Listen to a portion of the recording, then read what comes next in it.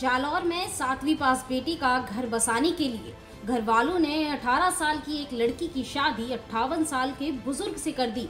फेरे लेते हुए जब लड़की ने सहरे में अपने दूल्हे को देखा जो कि उसके बाप से भी ज़्यादा उम्र का था तो लड़की के होश ही उड़ गए।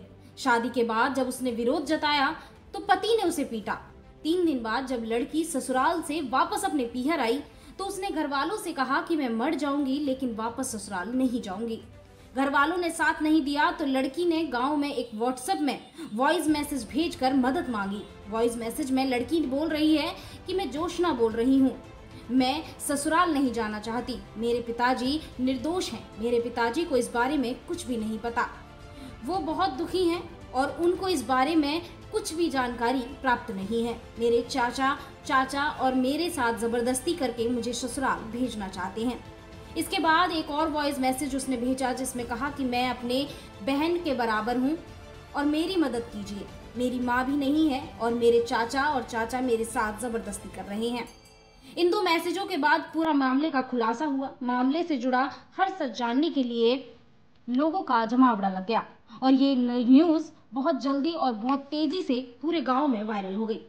दरअसल मामला जालौर के राजपुरा गाँव में रहने वाले गंगाराम को जिन्होंने 11 जून को अपने बेटे नरेश और बेटी ज्योत्सना की शादी आटा साटा में कारलू गाँव के सूरताराम और उनकी बहन से करवाई थी। पिता से भी ज़्यादा उम्र के व्यक्ति से शादी करने से नाराज़ ज्योत्सना शादी के तीन दिन बाद ससुराल से अपने घर आई। घर वालों ने वापस ससुराल जाने का दबाव बनाया तो उन्होंने व्हाट्सएप ग्रुप में एक वॉइस मैसेज भेजकर समाज और गाँव के लोगों से मदद की, अपील की। कुछ ही समय में मैसेज वायरल हो गया और लड़की की ज़बरदस्ती शादी करने की बात पूरे गाँव में आग की तरह फैल गई। गाँव वालों पता लगने पर परिजनों ने जोशना को ससुराल भेजने का फैसला बदल लिया।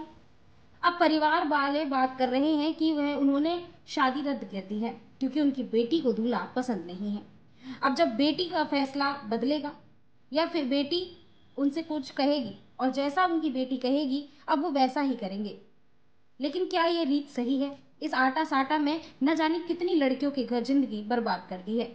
और ऐसी ही एक ज़िंदगी है जोशना की जो मात्र अभी अठारह साल की है और जिसकी शादी अट्ठावन साल की आप सभी की इस पूरे मामले को लेकर क्या कुछ राय है, हमें ज़रूर बताएँ।